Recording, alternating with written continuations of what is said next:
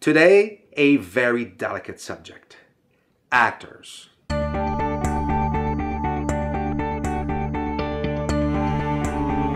Hi everyone, Symon here from Symon Says TV and welcome back to How to Become a Film Director. Today, well, you're nothing without good actors. A very delicate subject indeed, because that might mean that you're no longer going to give roles to your friends anymore. Those friends of yours who've been there since your very beginning.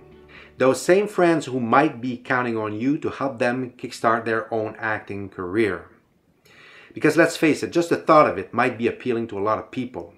And after all, they might not have been there only for your beautiful eyes. They might have plans of their own too. Now, last time we saw that if you want to up your game, you have to surround yourself with very talented technicians. Well, the same applies with actors. Because no matter the most qualified team of technicians you may have, all of that could be a waste of time if you have bad actors. Because after all, your actors is by whom your story is told. Now, I don't want to make myself any enemies here, but that's how it is, right? Even if you have a good actor doing the performance of his life, all of that could be ruined if he plays alongside a not so good actor. Some other people would say that your movie is as good as your worst actor. Acting is so much more complex than one would think. We could be talking about acting for hours here and still have a lot to say and we might not even have the same opinion about it. So that's why we're only going to be scratching the surface here today, just to make you realize how important it is in your productions.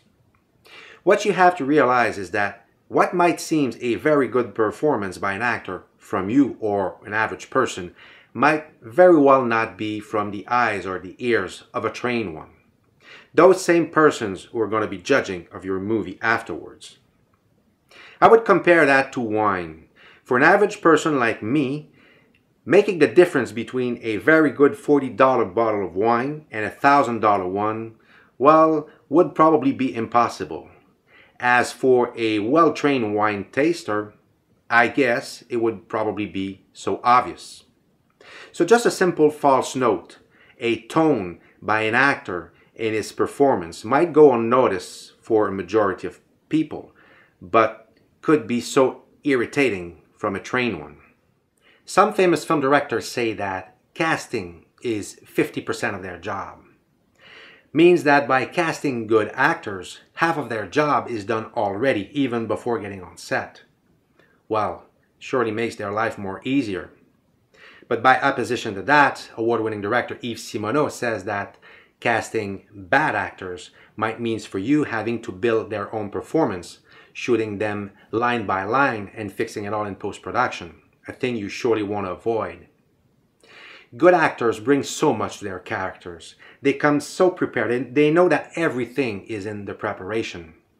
Actors like De Niro and Pacino, Meryl Streep, Daniel Day-Lewis, uh, Sean Penn, sometimes they immerse themselves in their characters months in advance if needed. No wonder why they're so good actors. Now, does it mean that all trained actors are good? Absolutely not.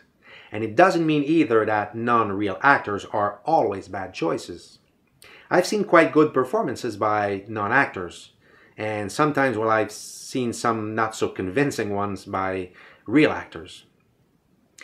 One thing you should know is that acting has nothing to do with lying. Acting is all about telling the truth. As a matter of fact, liars in life usually don't make good actors. Honest people do. I've seen that and I've witnessed that many times in my career. Liars usually functions on patterns, prefabricated emotions, reactions that are easy to identify from the point of view of an honest person.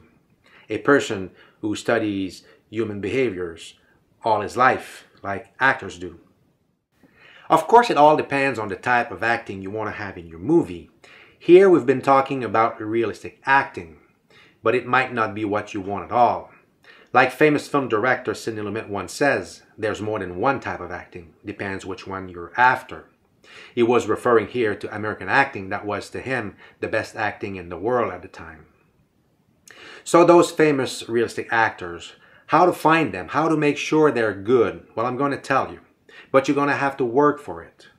You're going to have to train yourself. You're going to have to go and attend at acting classes. You're going to have to go either acting class or workshops. Go and spend 40, 50 hours there, okay? Call a teacher, ask him if you can go there. Maybe you will be able to go without, I don't know, I, I don't know if it's going to cost you money. I went as an actor, of course, and I paid. But go there and attend. You will learn a lot. You will learn the language of actors. You will learn uh, how an actor think. You will learn how to communicate with him. You will learn how to to uh, there's something you want them to to an action or a, a way you want them to um, to uh, to behave. You, you don't know how to tell them. You will learn that in an acting class.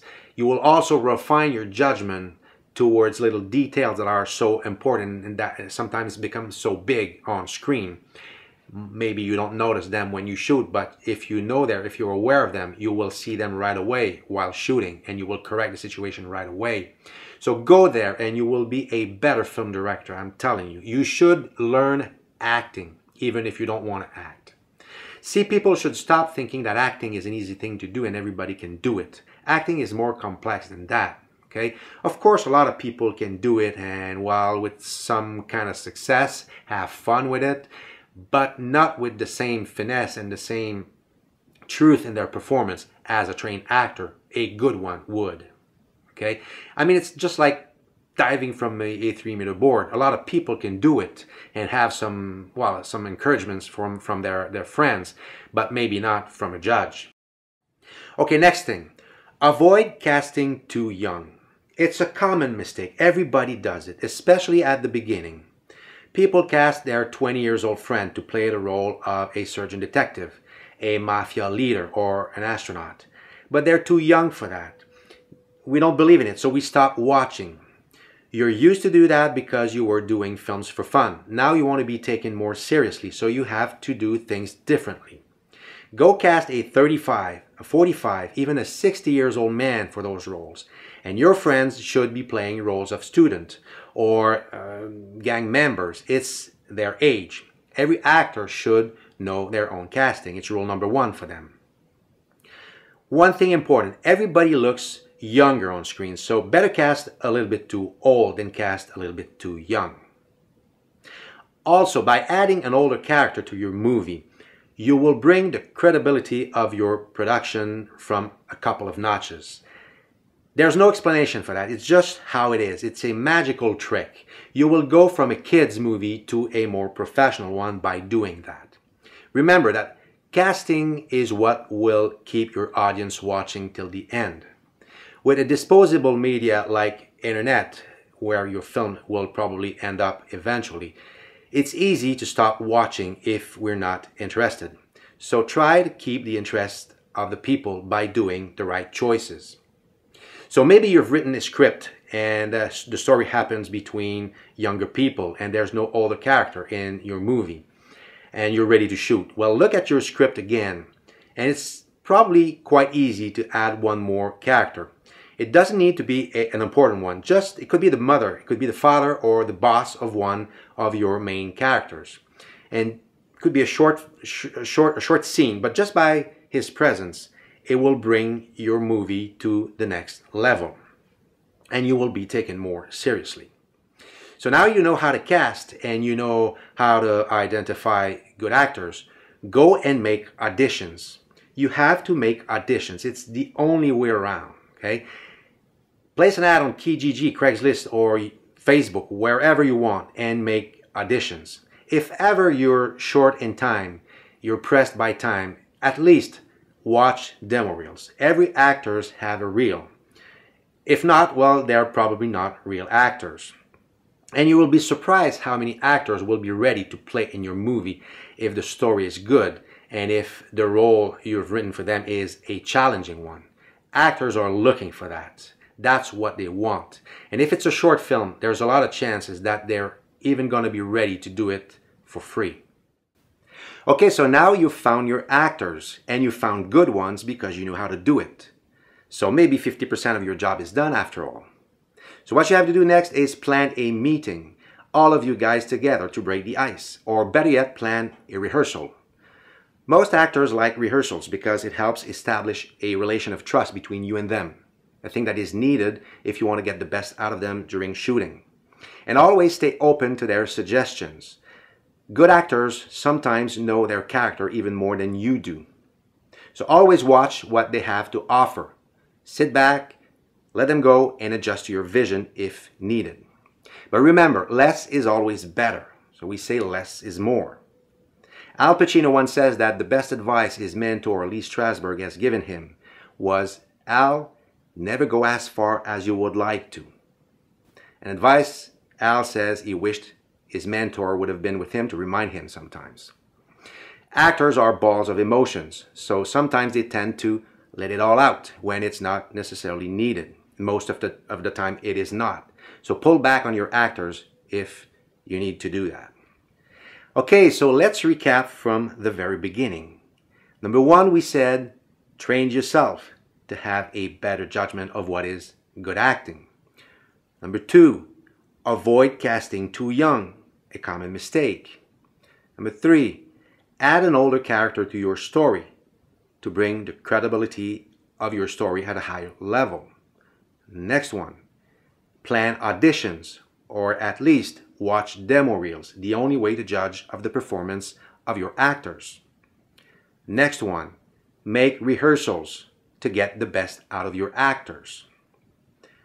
Next one, always be open to their suggestions. Good actors know their characters more than you do sometimes.